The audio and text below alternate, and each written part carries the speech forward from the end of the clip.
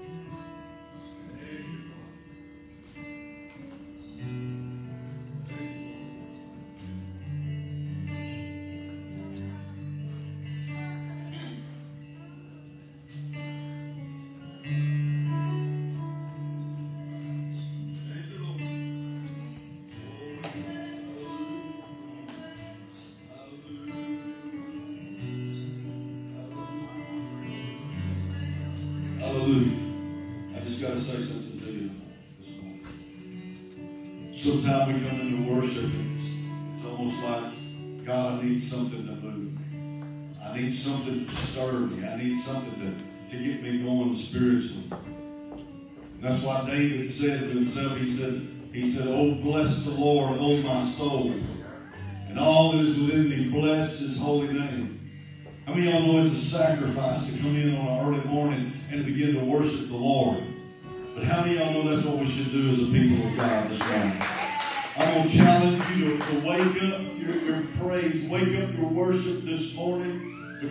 About you, but I want to be moved from one place to another this morning. Is anybody with me? Oh, I want to be in the same place I was when I walked in here. Not that it was real bad when I came in here this morning, but, but I just, I've come to church for a reason this morning.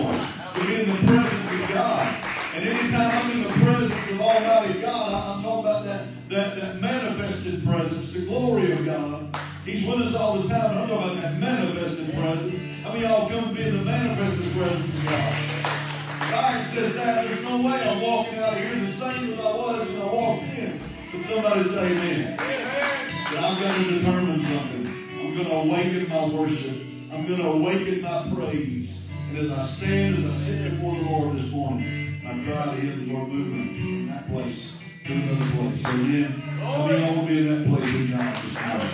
Hallelujah. Lift it up to Him as we sing this last song this morning. Move me, Lord. Hallelujah. Everybody say, move me, Lord. Move me, Lord.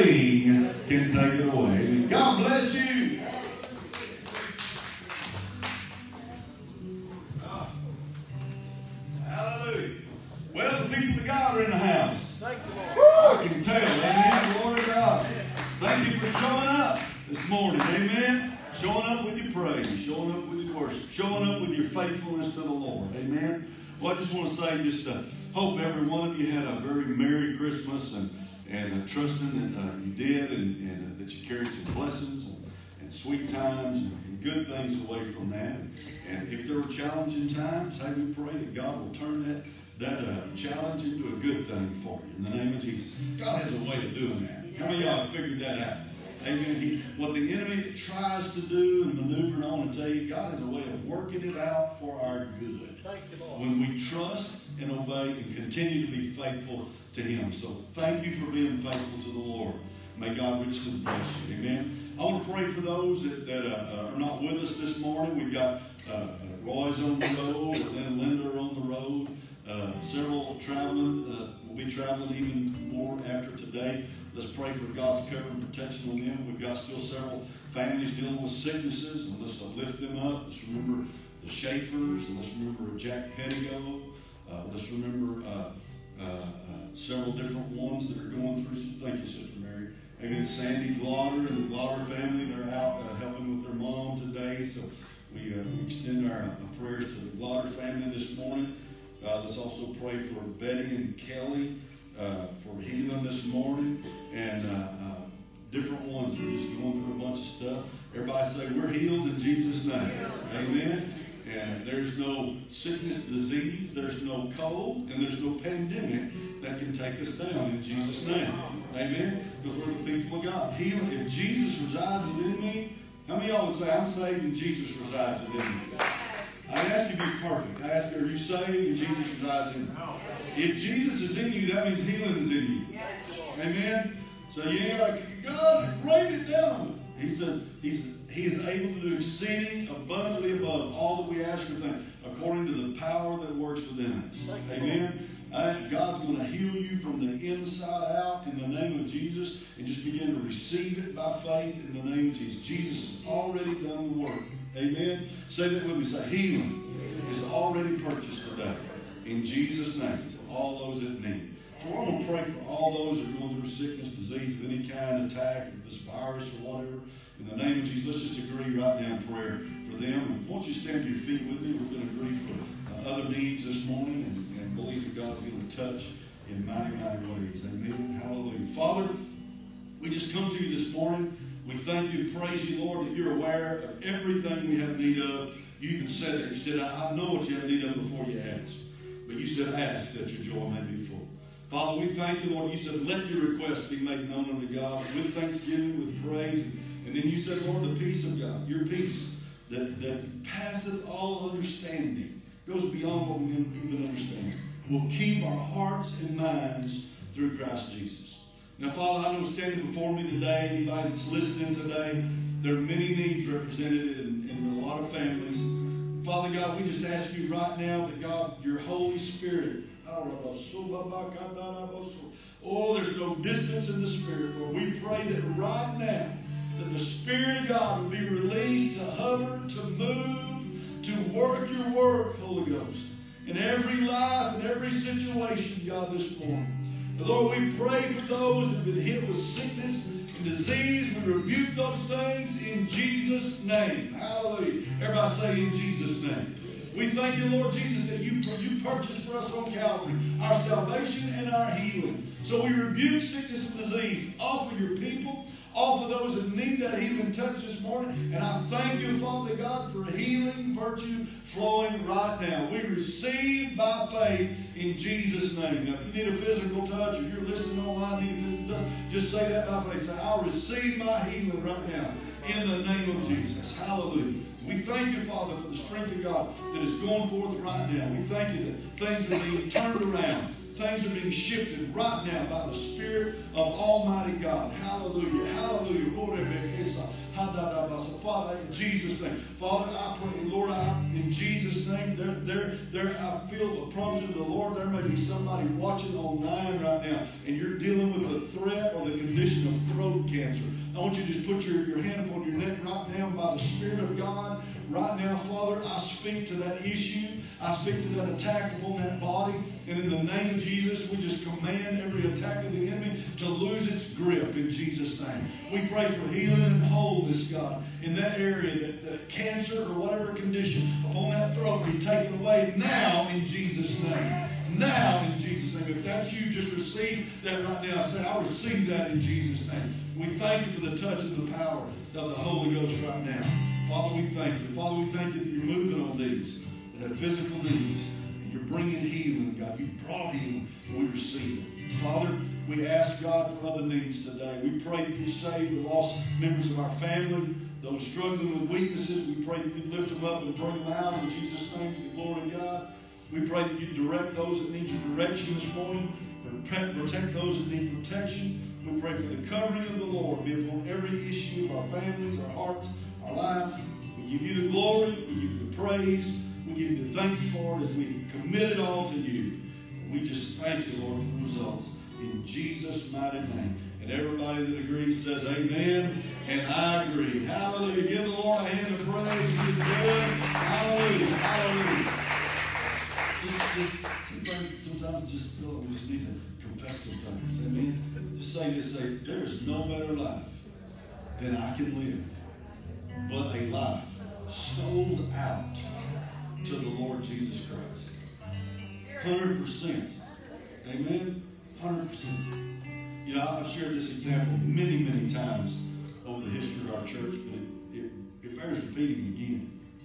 You've heard that term. Be sold out for God. And I asked God, well, does, what does that mean? Be sold out. And he, this is what the Lord showed me. He said, it's like the devil going, going in the shop of, of, of the shop of your life. And he's shopping for something that he wants to get a hold of in your life. But he goes to the shelf he wants to attack, and there's nothing there. Why? Because it's been sold out. Hallelujah. God has it in his possession, and there's nothing left for the enemy to take. Hallelujah. So how many be sold out to the Lord? Give every part to God. Every part. With the devil, he can shop all he wants. He's not going to find a place in me. That's what the Bible says. Give no place to the devil. Amen. Amen. How many of you God's got the answers? Amen. Hallelujah. Well, somebody say, Glory to God. Glory to God. Aren't you glad that God's a God that hears and answers prayer? Hallelujah. Hallelujah. You may be seated. Lord, did I forget anything? I need to pray. I just wanted to ask you to be sure. Okay, hallelujah. Glory to God. Well, praise God. Praise God. Well, uh, we're going to give you a chance to give this morning. Thank you so much for your faithfulness in giving to the Lord in 2020. Amen. Thank you uh, for, for just uh, uh, just being convinced that God's word is true. Amen. How many of y'all know His word is true? Amen. How many y'all have, just lift your hand to the Lord in a testimony and say, Pastor, church, everybody that's here, and God Himself, I just want to say with an uplifted hand, in spite of 2020 and the devil's attack, I have been blessed. Hallelujah. Glory to God for that. Hallelujah. Somebody give him some praise. Hallelujah. Hallelujah. God, and thank you so much for your continued giving to the Lord. Amen. Well, take whatever represents your giving in your hand, and we're going to speak a blessing over it, pray over it as you give it this morning. And so uh, we just thank you for what you've intended to do be obedient whatever God speaks to you. Say this with me. Say, Lord, I thank you for the provision in mine and my family's life. You have given it to me. It is your source. I have the source of income in my life because of you. So, Lord, I take this portion of what you blessed me with and I plant it today in the house of God, believing and knowing what your word says. That as I plant seed into your house and into your kingdom, it will bring forth a mighty harvest in this house the kingdom and my house. Thank you, Lord, for your continual blessing. Thank you, Lord. You're going to water this seed. You're going to shine on it with the sun. And I thank you, Lord, for the result it brings. In Jesus' name. Amen and amen. Hallelujah. With that promise, I think we can give cheerfully. Amen. Come on and give to the Lord as He blesses you to do so this morning. Hallelujah. Glory.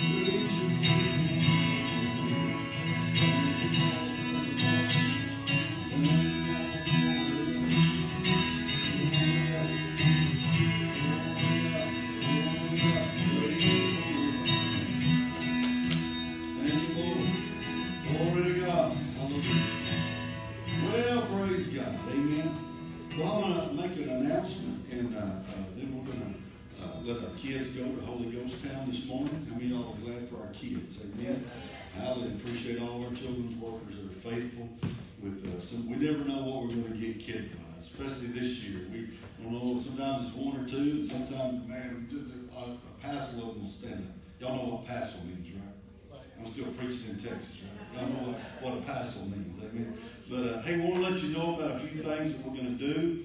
Uh, uh, uh, first of all, I want to just tell you that, that uh, uh, I'm thankful that some have expressed a desire to to just officially uh, make themselves partners. Right now, you know, riding high. Oh, Jesus, God, well, step back in time there. Amen. Some, some things are hard to break. Some horses are hard to break. Amen. But let me tell you, Rock Creek Church. Thank you, Jesus. And uh, we're thankful for that. And uh, how many of y'all know that, uh, hey, if we're saved, we're in the kingdom, we're in the household of God, but, but how many of y'all know it's important to be planted? And it's important to make a statement that this is where God has put me, this is where I belong, I'm committed here. Amen. Commitment's important.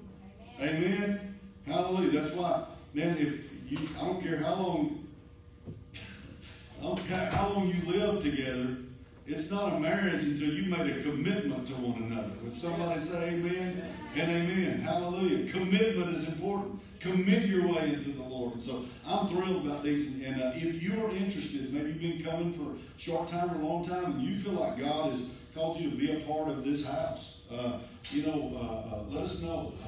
We don't go through a big formality. It's just a form you fill out saying, expressing your heart that, hey, I want to consider myself a part of this church. And our only requirement is that you know the Lord Jesus Christ.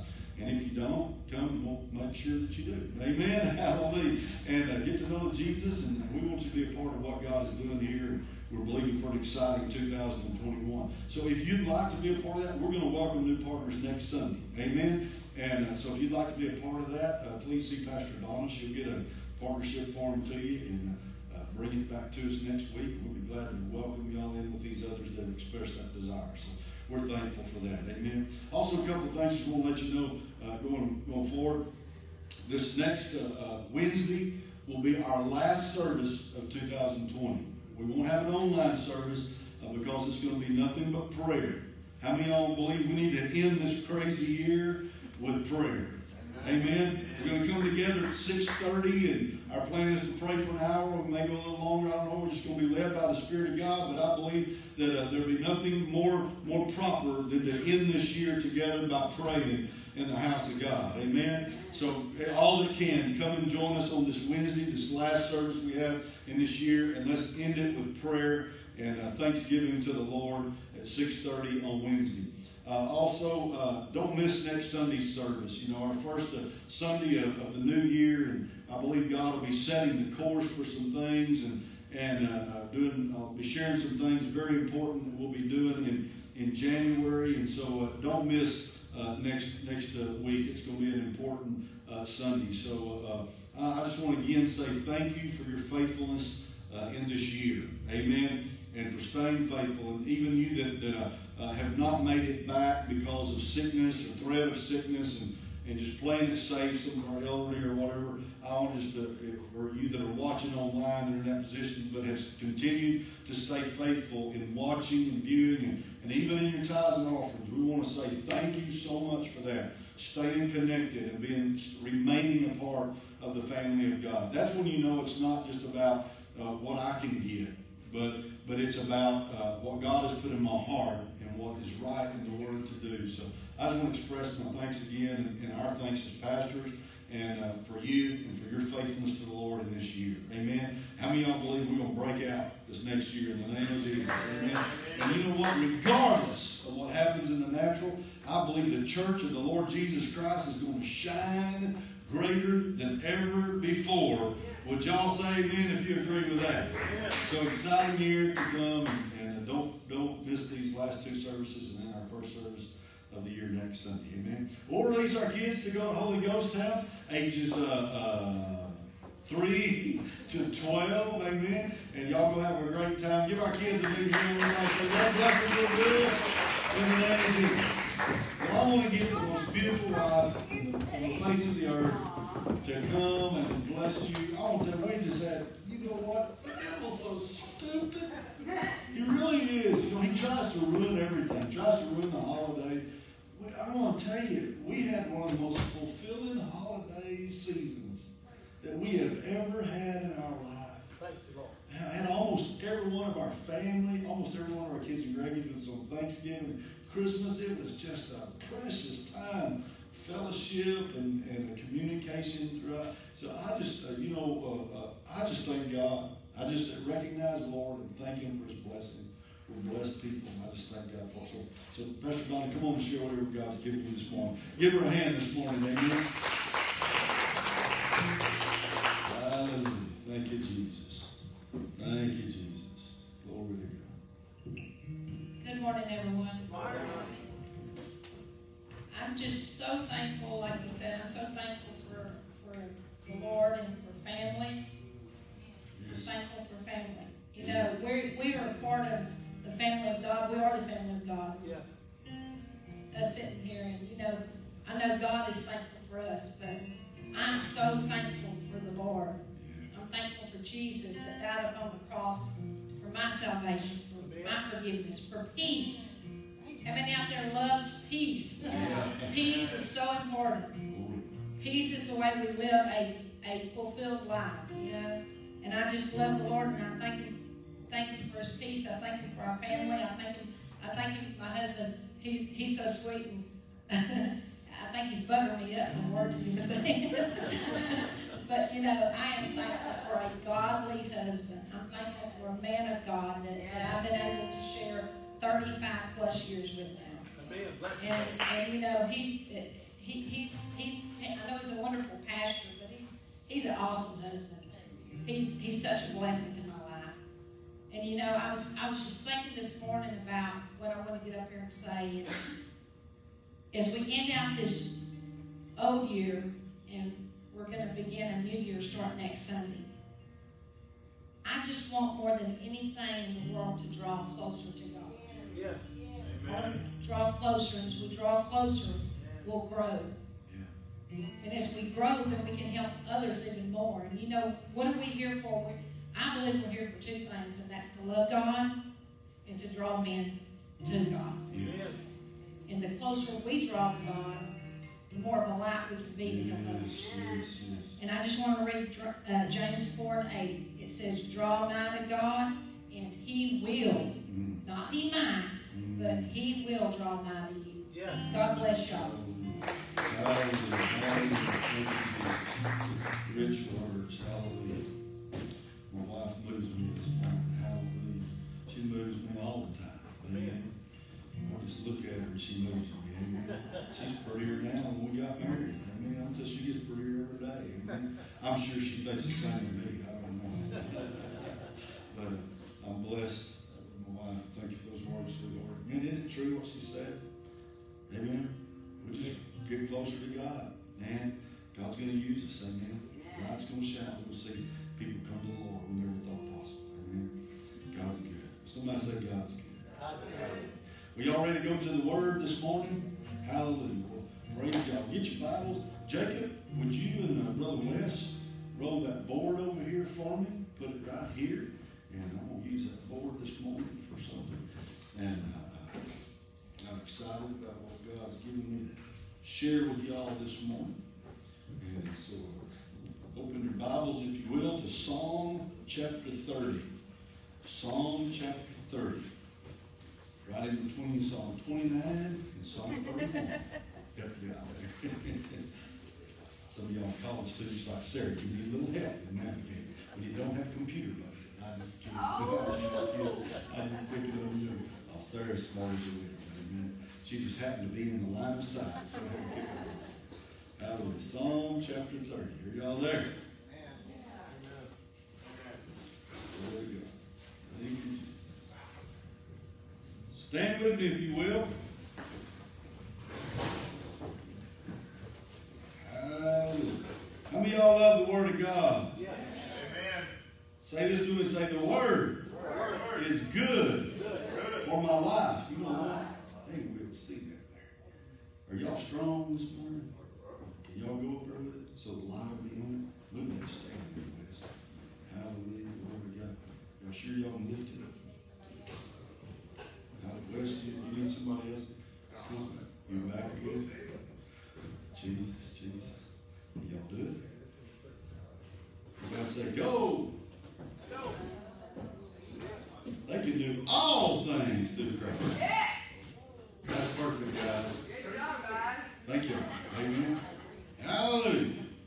Well, hallelujah. Y'all, are y'all there? Psalm 30. I'm not. Let me get there. Let's read this great Psalm of David right now. It says, I will extol thee, O Lord, for thou hast lifted me up. Thank you, fellas. And hast not made my enemies to rejoice over me. O Lord my God, I cried unto thee, and thou hast healed me. Somebody say, Thank you, Jesus. O Lord, thou hast brought up my soul from the grave. Thou hast kept me alive, that I should not go down to the pit. Glory. Sing unto the Lord, O ye his saints of his, and give thanks at the remembrance of his holiness. For his anger endureth but a moment. In his favor is life. Weeping may endure for a night, but joy cometh in the morning. Hallelujah. And in my prosperity I said, I shall never be moved. Lord, by thy favor, thou hast made my mountain to stand strong. Thou didst hide thy face, and I was troubled. I cried to thee, O Lord, and unto the Lord I made supplication. What profit is there in my blood when I go down to the pit? Shall the dust praise thee? Shall it declare thy truth? Hear, O Lord, and have mercy upon me, Lord. Be thou my helper. Thou hast turned for me my mourning into dancing. Hallelujah. Thou hast put off my sackcloth and girded me with gladness. Hallelujah. To the end that my glory may sing praise to thee and not be silent. Everybody say, I will not be silent. Oh Lord my God, I will give thanks unto thee forever. Hallelujah. Hallelujah. Isn't that some great words in that song? How many of y'all ever had days of mourning? I want to tell you if you continue to trust in the Lord, cry unto Him, seek His face, He will turn your mourning into dancing. Amen. He will cause the, the darkness to be light about you. He will bring you out if you will continue in Him. Everybody say, continue in Him. Hallelujah. I want to just uh, share a, a, a, message with you today called Three Three Letter Words. Look at somebody and say, He's talking about three three letter words. Hallelujah. Let's pray. Father, thank you for your word this morning. Thank you, Lord, that we know your word is true and it is profitable for our life. I thank you, Lord, for speaking this in my spirit to share with your people this morning. So I trust you that we need to hear these. God, I thank you as I apply it to my life, and I pray that God, we would all catch the vision in the heart of what you're saying through this. And let us realize, Father God, that Lord, there is a path to the place that you want us to be in every situation. So, Lord, we give you glory today. We give you praise and we acknowledge you, Lord, that nothing, no circumstance, no situation is too great to overtake us when we have you. You said that, Lord God, you, you said, God, you're faithful that you will not allow us to be tempted above that which we're able, but with every temptation you make a way of escape that we may be able to bear it. So I thank you, Lord, there's nothing that we can't bear because when we bear something, we trade it out with you. And God, we thank you that you bear our sickness, our disease, our sorrows, the suffering of sin. You bore it all, Lord, so we wouldn't have to. And we, we take your yoke upon you. said, you said, my yoke is easy, my burden is light. So, Lord, I thank you that, Lord, let us make that exchange once again today. Lord, as we give unto you those things, we thank you that, Lord, the weight of glory is what will be put upon us this morning. We thank you for it. We pray your blessings. Let, Lord, let us hear the voice behind the words. We give you praise for what you're going to do. In Jesus' mighty name, we say it all. Amen and amen. Hallelujah. You may be seated. Hallelujah. Three, three letter words. Amen. I love watching uh, uh, some different ministries uh, this week and having run across a podcast of uh, Matthew Hagee's. And, and uh, I love, uh, love the way he started his message. And, and so I just wanted to say this to you this morning as, as I heard him say, how many of y'all know that there's a lot of different, uh, even in even in a church setting, there may be different views sitting out here. We view things differently. Amen.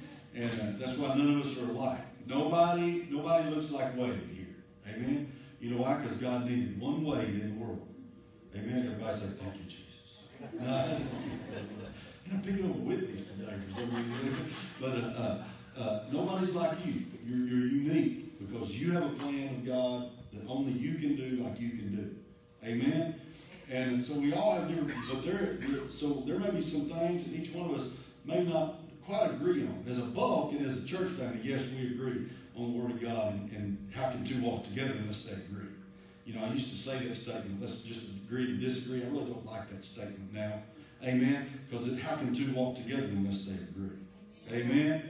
And so, you know, it's like when we have a decision to make in our household, me and Donna don't agree on something, we don't just stop there. We work it out till we're in agreement of what to do together. Amen. And that's what God expects us to do, walking together as a family. Amen. Hallelujah. But I want to tell you, there's one thing that we all can agree on this morning.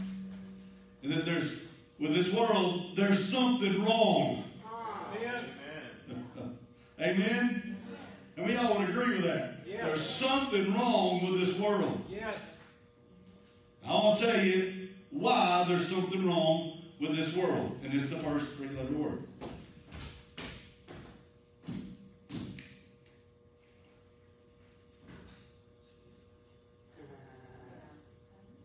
Yes. Amen? Can y'all see that? Oh, yes. Sin. Sin is the root cause of every problem that's going on in the world. Amen. Amen? Now, if it's us sinning, by far, we know that that's what brings problems in our life. Because the Bible's very clear on that. The wages of sin is what? Death. Death. But the gift of God is eternal life through Jesus Christ our Lord. But let me tell you what, we may be going through some things in our life because of somebody else's sin. Amen? Amen. We're going to read a story about David in a little bit. He didn't do anything wrong. He was trying to help somebody else. But man, he got in the greatest distress situation he had ever been in his life, trying to help somebody else. Why? Because somebody else operated in sin. Sin is the result of every problem we have. Wrong mindset, wrong government, wrong leadership. It's all based on sinly desires, fleshly desires. All the problems start with sin. And whether it's you doing it or somebody else, the troubles that you face in life all are a result of what? Sin. Amen? Hallelujah. But I want to tell you something. Jesus came and gave himself a sacrifice for sin. He redeemed us from the curse of the law. So for those of us who have accepted that, sin is not an issue with us anymore. Yes, we have to deal with the results of the others that are sinning in the world. And if we sin, we have an advocate with the Father. We don't make a practice of it. Amen? Amen. We say that again. We don't make a practice of it. We don't try to gather God in with our little sin room over here and let it all abide together as a happy home. We got to let God show us, but we got to let God in every room of our house. Amen. Let Him see all of our dirty laundry so that He can clean it. He's got detergent like you never thought possible. He can wash any stain. Amen. Hallelujah. I mean, it's better than OxiClean. It, it can do anything. Amen. He can make a, he can take a black heart and wash it white with red blood. I don't know how he does it, but he does it. Amen. In the name of Jesus. Hallelujah. So I'm telling you, Jesus came, and for you that are believers, let me tell you, we may have to deal with issues in the world because of the root of sin. Amen. But I want to tell you, you're not victimized by it. You're not bound by it because you've been made free in the name of Jesus. Hallelujah. Amen. Glory to God. Hallelujah. Hallelujah. Sin. The result of sin is every problem that we face in the world. David, through this song that we read, describes three phases of life. Go, go over there to that, that verse uh, uh, 3 there. It says, O Lord, O Lord, thou hast brought up my soul from the grave. Thou hast kept me alive that I should not go down to the pit. How many of y'all know the grave and the pit is where the enemy wants to take you because it is the true result of sin. But God in His mercy has given us a way out of sin. Amen. Amen. But David describes in this song uh, three different places that we go through sin, and then there's a cry. He said, I cry unto the Lord. Amen. I cry unto the Lord. But then if you look over there, he said, I cry unto the Lord in several different places. He said there in verse 2, O Lord my God, I cried unto thee, and thou hast healed me. Look over there in verse 8. It said, I cried to thee, O Lord, and unto the Lord I made supplication. Hallelujah. And then lastly, in verses 11 and 12 says, Thou hast turned from me my mourning into dancing. Thou hast put off my sackcloth and girded me with gladness, to the end that my glory may sing praise to thee and not be silent. O Lord my God, I will give thanks unto thee forever. Sin, a cry, and then there's joy. Amen. Now, this is what I want to tell you this morning. How you handle what's in the middle of this sandwich will determine what you deal with in your life. I ask you this morning, who are you crying to? Who are you crying to? This world and this situation this year has given us many reasons to be in distress. Amen. We have shed tears. We've cried out, why, why, why? We've cried out, I don't understand. We've cried out all kind of things. But, but did we stay there? Have we stayed there and crying and complaining? Or have we turned it into a cry to the Lord? Yes. Amen? I want to tell you if we can learn to turn our cry toward heaven, if we can turn our cry to the Lord, then God will not leave us in the results of sin, but He will bring us into the joy of the Lord. Hallelujah. How many of y'all want to wind up in that last place this morning? Hallelujah. Glory to God. Now, I want you to turn over to 1 Samuel chapter 30. And I want to read to you a story that David went through. And in my, my recollection of David's life, you know, other than his repentance after his failure with Bathsheba and, and confronted by the prophet, he repented. And other than, than that, this is, this is probably the greatest distress I ever saw in Scripture in David's life. Start with uh, 1 Samuel in chapter 29, verse 11, the last, the last verse of, of uh, uh, chapter 29. It describes a time when this is a time when Saul was still king. David had, uh, uh, he was really departed because Saul was after him to kill him. But David had gathered all these, these uh, uh, uh, uh, misfits, all the misfits, all the guys that, that uh, nobody gave hope to, all the guys that were worthless. They had come to him and their wives and their children, and, and what God had given David a mighty host, an army that was with David, 600 men strong, that uh, were devoted to David, and they were devoted to David's God. God sending that as reinforcements in their life. And they were living in a town called Ziklag. And there was a cry to, from a neighbor that said, said, Come and help us because we're going to be attacked by the enemy. And we have been a friend to you, so will you come help us? So David and his men rose up early in the morning and all took all the 600 men. All the men departed. And read with me in, verse 11 of chapter 29 of 1 Samuel. It says, So David and his men rose up early and departed in the morning to return to the land of the Philistines. And the Philistines went up to Jezreel. Now, while they were gone, everybody say, and while they were gone.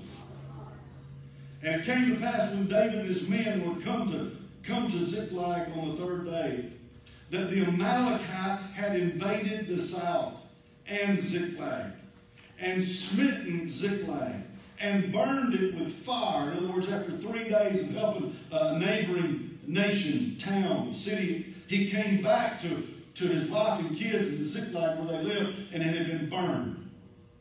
And had taken the women captive that were therein. They slew not any, either great or small, but carried them away and went on their way. They came back to find their hometown burned and all their families kidnapped. How many of y'all have ever faced distress like that? I dare to say none of us have. So David and his men, verse 3, came to the city, and behold, it was burned with fire.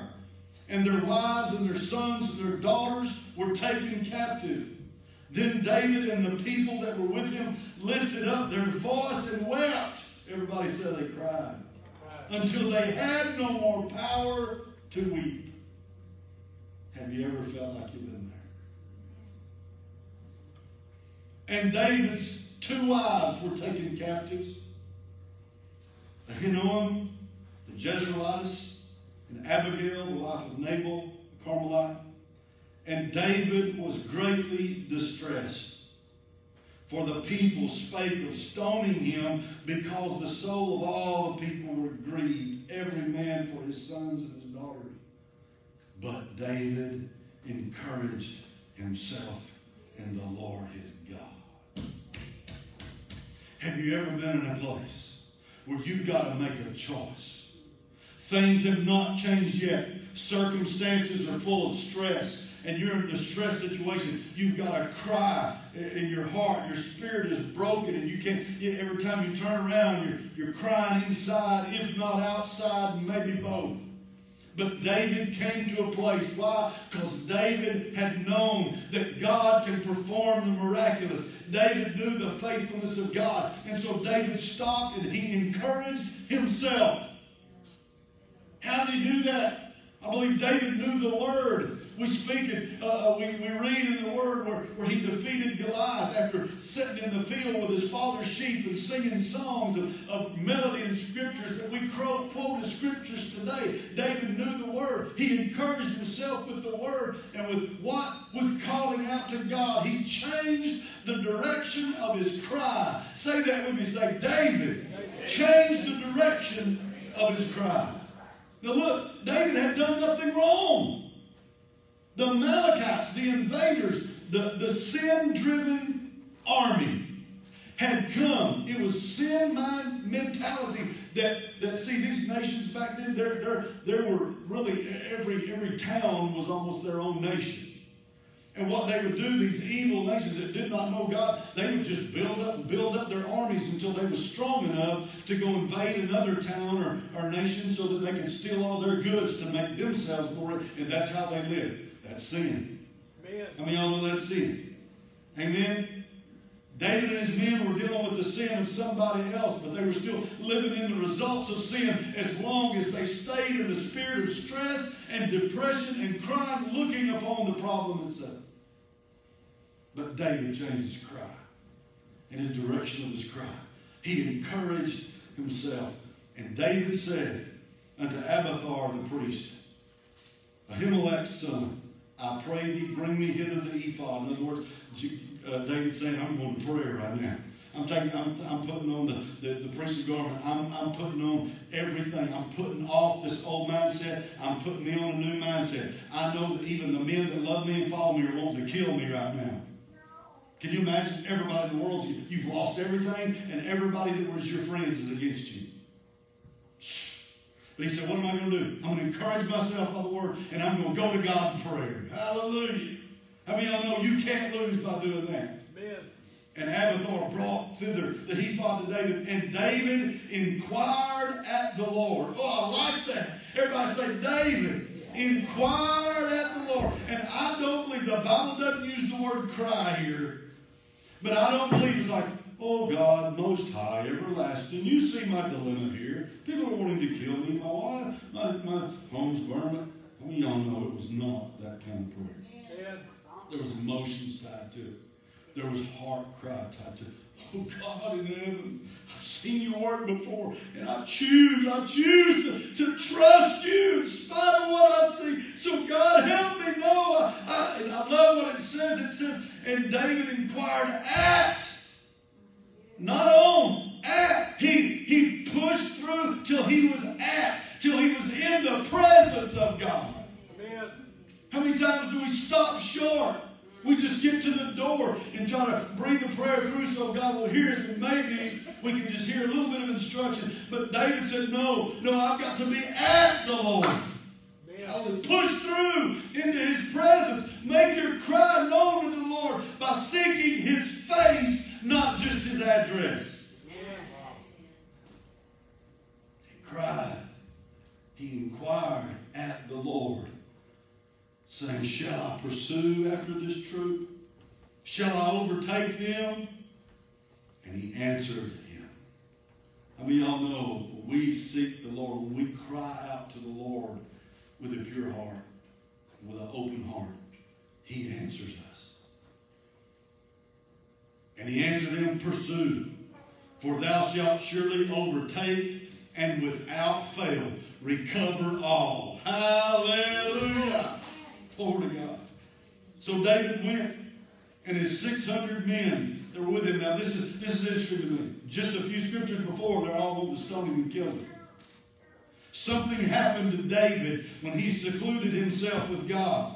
When he got along with God, and when he came out of that prayer closet after communicating with God, the glory of God was upon him. I'm telling you that you face situations fearlessly. I don't care who's after you or who's threatening you.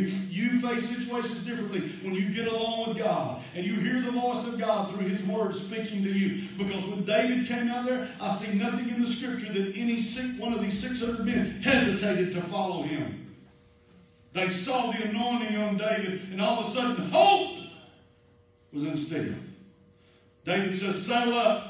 We're going to recover our wives, our children. God said we will recover everything. And the, these men remember back the teenage boy that slew the impossible warrior Goliath and brought him down with a stone and cut his head off. And all of a sudden their wheels are turning. They're thinking, oh, what have we to do? Where would we go? We've seen God work in this man before, and we see something on his face that we did not see before.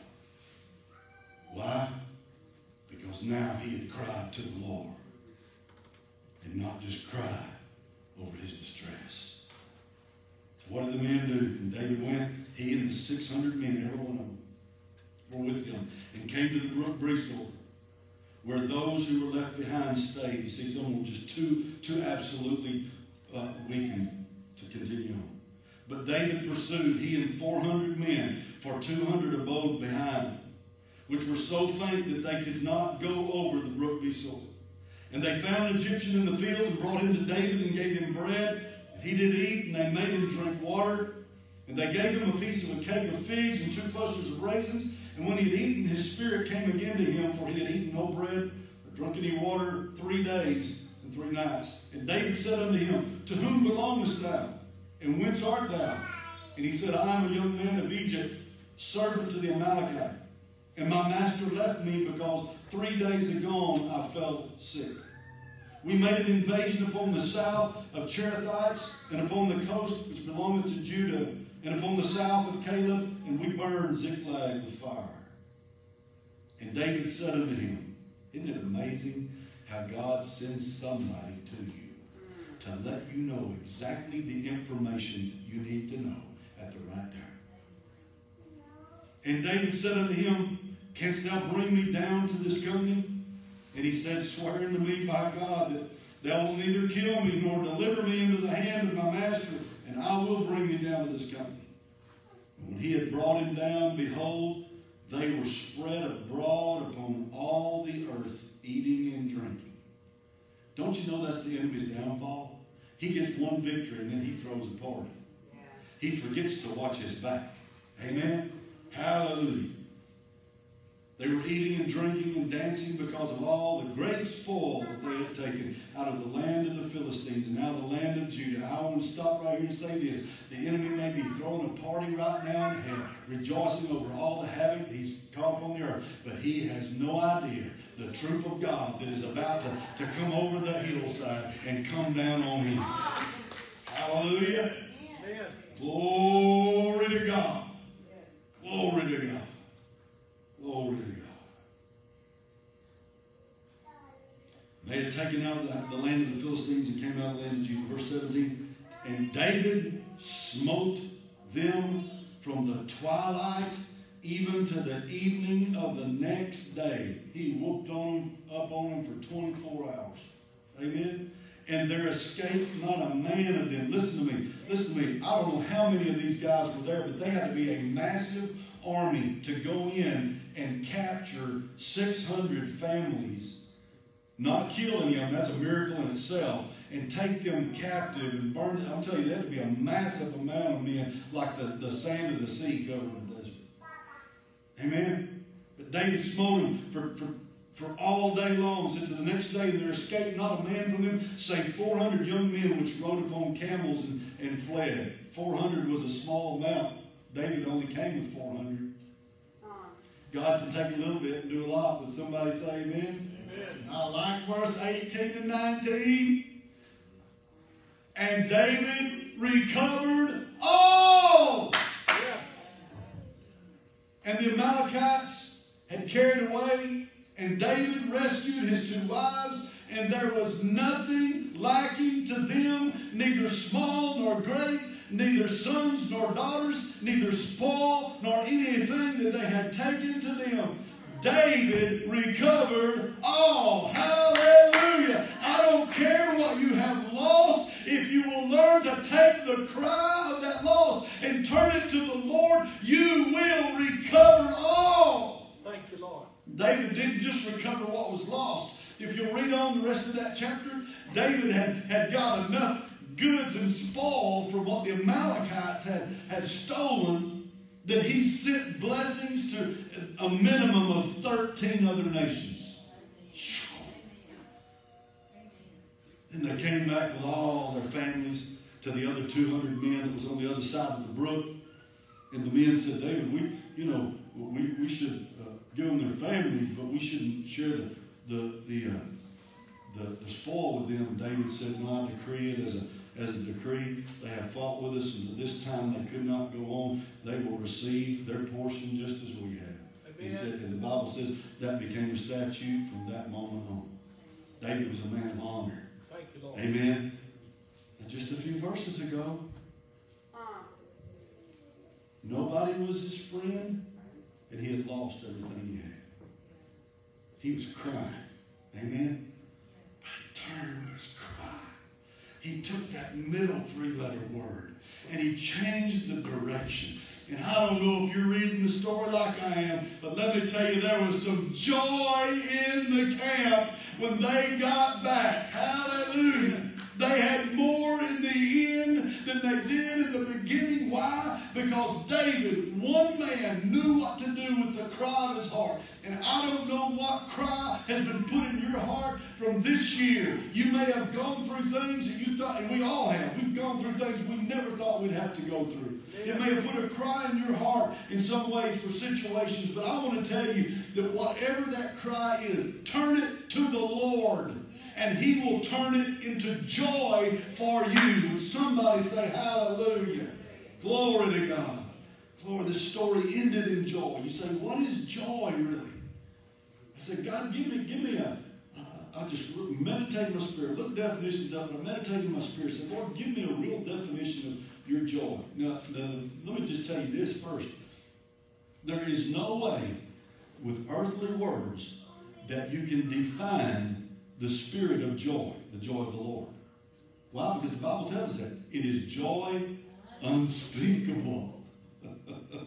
and full of, I can't, in my best way to describe it, I'll never be able to describe real joy to you, but I'm going to take a shot at it. Amen? This is what I wrote down. Joy is an overwhelming of the heart and spirit based on eternal things, not temporal things. That's why you can be facing the greatest threat of the enemy right in your face. Somehow, you still got joy and peace because it's not based on your circumstances and what you're going through right now. It's based on your knowing that my God is eternal. He has my life in his hands. Somehow, some way, he's going to work this out for me. Amen. That's real joy. That's the joy of the Lord. The Bible says that the joy of the Lord is our strength. Hallelujah. How do we acquire it? When the cry shows up, turn your cry to the Lord. Amen. Amen. Hallelujah. 2 Corinthians 4 17 18 says it like this For our light affliction, which is but for a moment, God just, just use it as a moment, worketh for us a far more exceeding and eternal weight of glory, while we look not at the things which are seen, but the things which are not seen. For the things which are seen are temporal, but the things which are not seen are eternal. Hallelujah.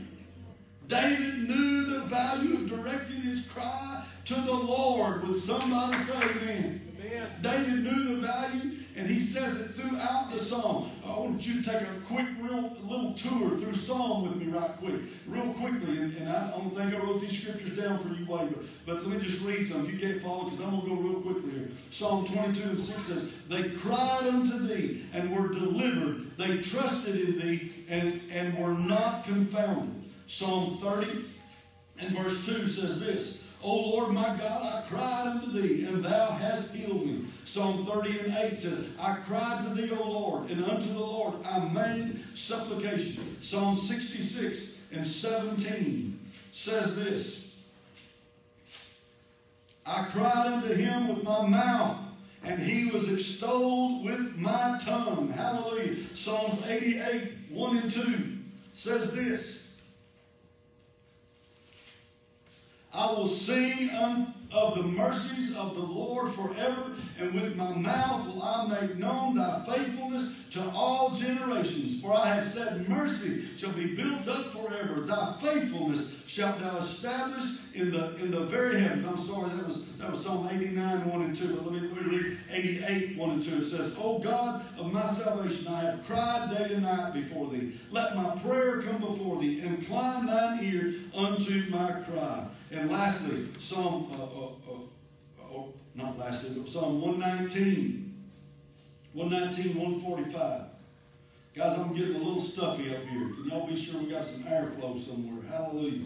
Hallelujah. Psalm 119, 145 through 148 says, I cried with my whole heart, Hear me, O Lord. I will keep thy statutes. I cried unto thee, Save me. I shall keep thy testimonies. I prevented the dawning of the morning and cried. I hoped in thy word. Mine eyes prevent the night watches that I might meditate in thy word. How many of y'all know that's crying out to the Lord when you make the, the, the, uh, the, the, the center of your cry the word of God? Hallelujah. 120, Psalm 120 and 1 says this. It says, in my distress, I cried unto the Lord, and he heard me. And lastly, Psalm 130 and 1 says this, Out of the depths have I cried unto thee, O Lord. Let me tell you something this morning. Whenever we direct our cry, wherever we direct our cry, whether we live, will will determine whether we live in the results of sin or the blessings of the joy of the Lord. Cry unto the Lord, because he will give ears to a heartfelt cry of his people. Do y'all remember when God was describing to Moses why he was going to send Moses to Egypt? He said, Because I've heard the cry of the people. Their cry has come up before me. There's something different about a cry because it's from the depths of the, the, of the innermost being of the heart. We pray heartfelt prayers to the Lord and we cry out for those things that we know God has released for us. Direct your cry to the Lord. Amen. Lastly, I want to go to Psalm 107 this morning. Great psalm that addresses so many things in our life. Because I want to tell you what God desires is that no matter what has come in our life to try to distress us and bring us down and cause us to have a weep or a cry inside, He wants to bring us to a place where the cry becomes a thanksgiving. Amen. Psalm 107, listen, listen to this. It says, Oh, give thanks unto the Lord, for he is good, for his mercy endureth forever. Y'all kind of know that one around here. Would somebody say amen? Amen. Let the redeemed of the Lord say so. How many of y'all are glad you're redeemed? Hallelujah. Whom he hath redeemed from the hand of the enemy and gathered them out of the lands from the east and from the west and the north and the south. Listen, they wandered in the wilderness in a solitary place. They found no city to dwell in. You know why some people are lost and full of a cry of despair in their heart? Because they're wondering. God hasn't called you to wonder. God has called you to follow. Amen. There's not should be a place where we're wandering around. They wasted 40 years in the wilderness, wandering in the wilderness, when they could have been led by God. God wants to, what did Jesus say to his disciples? Come and wander with me. Come and follow me, and I will make you become fishers of men. Aren't you glad that God doesn't leave us alone says, Well, here's a map. Good luck. Hope you find me. I said, No. Here's a map, but I'm going to send a, a guide too. Thank you, Lord. I'm going to send the guide of the Holy Spirit. And he will track you in the places that Jesus, my son, has already paved for you. Amen. And he will lead you and guide you into all truth. Aren't you thankful for, the workings of the Holy Ghost in you? That, that, that moving in you, that leading, that, that, that thing that causes you to stop sometimes when you don't understand why you're stopping. The things that cause you to go forward. That things that cause you to, to, to play it safe sometimes or go forward and be bold. That is Jesus himself in you by his Holy Spirit directing you. Amen. Aren't you thankful for that leadership? And he said, I've sent you a helper so that you can follow him. He will lead you. He said he will lead you. In other words, he's up in front of us, leading us. Follow him. He will lead you and guide you into all truth. Glory to God. Are y'all hearing this this morning? Yeah. Anybody getting anything out of this this morning? Yeah. Hallelujah. Read on with me. They wandered in a wilderness, a solitary place. They found no city to dwell in. Hungry and thirsty. Their soul fainted in them. In other words, they were crying. Amen. Then they what? Cried to the Lord in their trouble, and He delivered them out of their distresses. And He led them forth by the right way, that they might go to the city of habitation. Oh, that men would praise the Lord for His goodness and for the wonderful works of the children of men. It says that, that right there over and over and over in this song.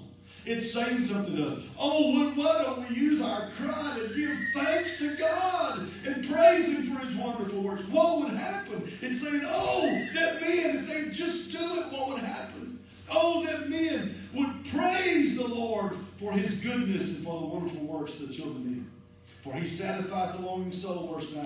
He filleth the hungry soul with goodness, such as sit in darkness and in the shadow of death, being bound in affliction and iron because they rebelled against the words of God. Oh, say, okay, well, God's getting ready to deal out some punishment here because he's talking about those in rebellion, not obeying the word of God, right?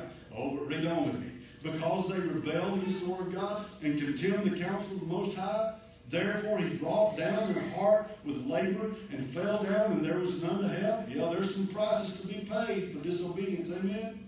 But then they cried to the Lord.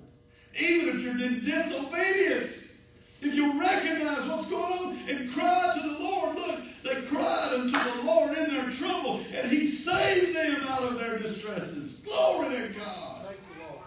He brought them out of darkness and of the shadow of death and break their bands asunder. And here we go again. Oh, that men would praise the Lord for his goodness and for the wonderful works to the children of men. For he had broken the gates of brass, cut in the bars of iron asunder. Fools, fools. I mean, I know that's about the biggest put down that the Bible offers. Jesus even told people, don't you call a man a fool, you're danger in hellfire. Amen.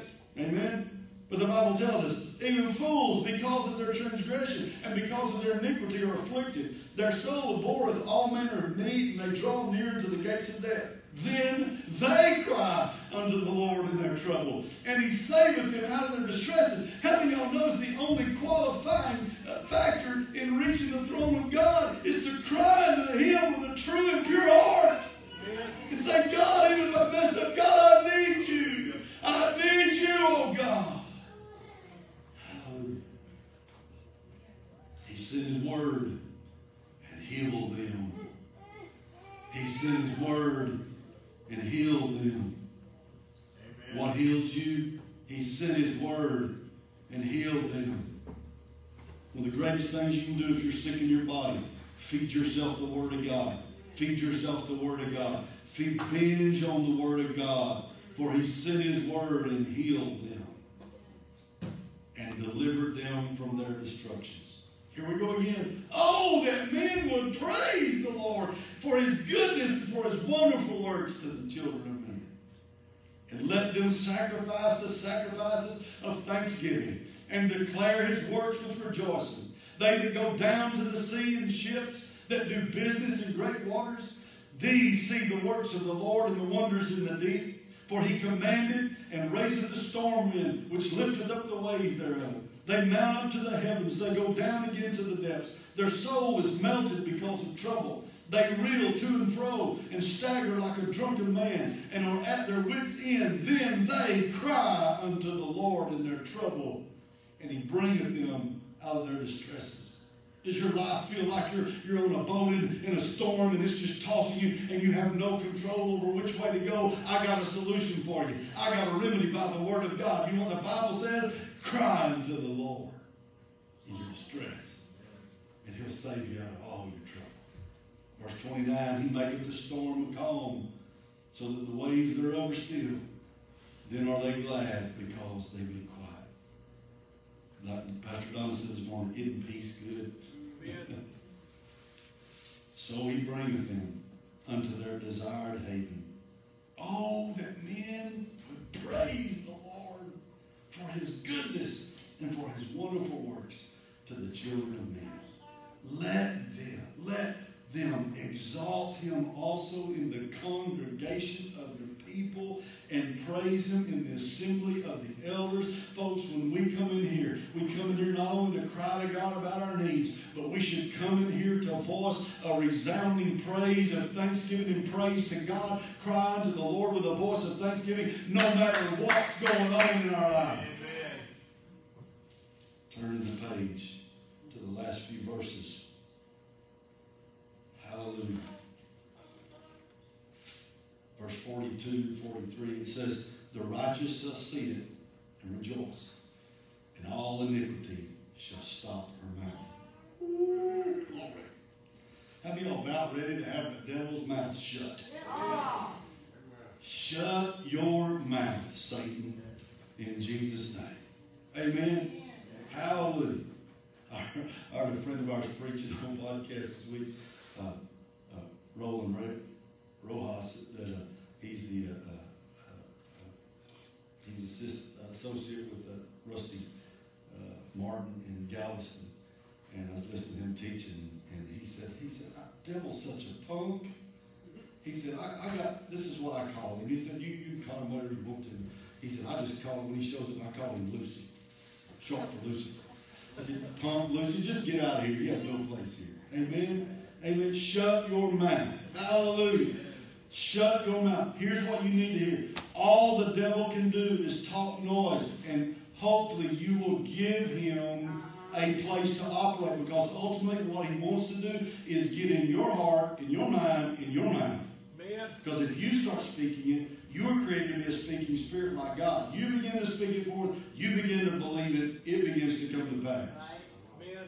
Give no place to him. I think we said that before today.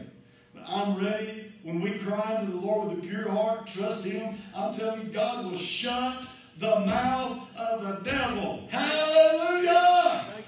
Glory to God. I'm tired of hearing his big fat mouth. Amen. Everybody just say, shut up, Satan. In Jesus' name. And you've got to, because we cry unto the Lord. Hallelujah. Whoso is wise, here we go, and will observe these things, even they shall understand the loving kindness of the Lord. Let me ask you. Is there any place you'd rather be than in the loving kindness of God? No place that I can imagine. And it says, for those that understand this, what we talked about this morning, those that understand this will turn their cry to the Lord. We'll walk in the loving kindness of the Lord. Why, when we do all this, does it happen? Because this is what happens when you drop down to the next chapter of 108 and read verse 1. Oh God, my heart is fixed. I will sing and give praise even with my glory. Hallelujah. What does it do? It fixes our heart. Thank you, Lord. It fixes our heart. So this is what I have to exhort you in this morning. Let's end this year of distress, turning our cry of distress into a cry of thanksgiving and praise. Amen. God is still on the throne. He is still in charge of the lives of those who have entrusted their life to Him. Nothing will happen unless God, in His mighty orchestration of things, lets it be done. Amen. There's a limit. You say, did God cause that? No, men cause that. Amen. God, we're not going to blame God things, but I want to tell you, God draws a line and a limit to everything that's done. Amen. And God will keep. He is the God that heals us. He is the God that saved us. He is the God that continually brings us out. He's the God that has you sitting in church today when you've had all kinds of junk in your life to say you should not be here. You should already be dead. Amen. Satan had a contract out on almost every one of you in your lives. He wanted you dead. Because why? He did not want you arriving at the place of joy. Amen. Amen. Joy, J O I, Jesus on you. Amen. Hallelujah. God wants you full of joy. Joy unspeakable and full of glory. Bless his holy name. Amen. It's a time to rejoice. He has been given control of my life, and I'm not subject to the results of sin. Thank you, Lord. I have been redeemed, and I will say so. Amen.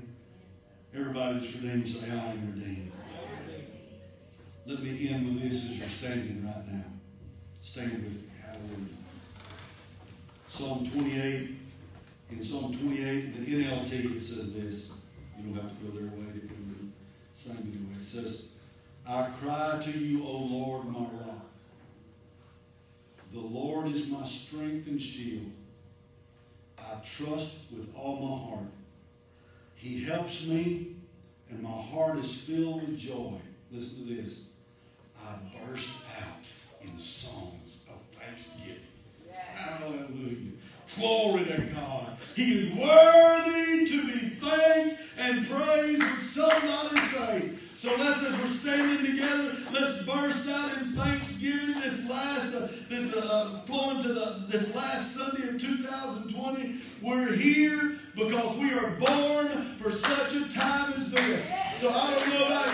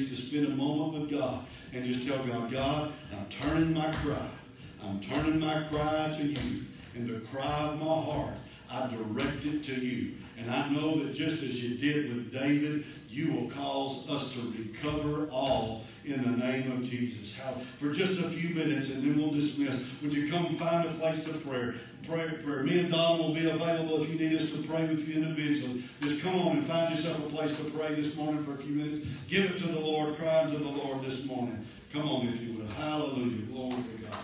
Glory to God. Glory to God. Glory to your mighty name. Hallelujah. We thank you, Father. We thank you, Father. We thank you, Father. Anybody need special prayer?